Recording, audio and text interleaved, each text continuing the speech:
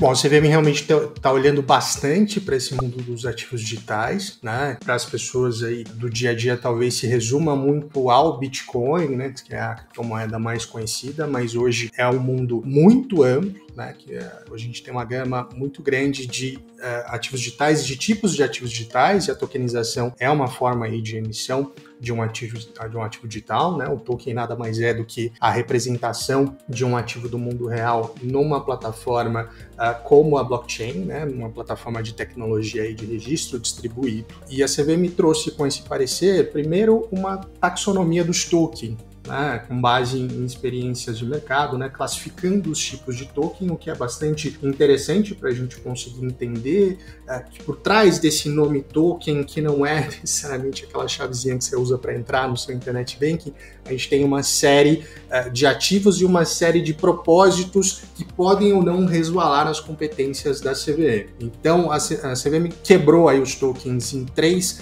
categorias, três grandes categorias que aglobam um grande número de operações. O primeiro são os tokens de pagamento, que são aqueles que cumprem a função de moeda ou meio de pagamento. Então, o Bitcoin entraria aqui, por exemplo. A gente tem os tokens de utilidade, também chamados de utility tokens, que são aqueles que dão direito a você ter uh, o acesso a um determinado bem ou a uma prestação de serviço. Então, um token que é emitido no contexto por exemplo, de um festival de música, né, que te dá acesso a um camarote, a uma área VIP, isso entraria como um utility token e obviamente está fora da regulamentação da CVM. E a gente tem os tokens referenciados ativos ou asset-backed tokens, que são os que mais interessam para o mercado, que são aqueles que representam um ou mais ativos do mundo real, vamos chamar assim, dentro da tecnologia blockchain. E dentro desses tokens referenciados ativos, a gente pode ter ativos que se caracterizam como valores mobiliários. E os valores mobiliários são exatamente aqueles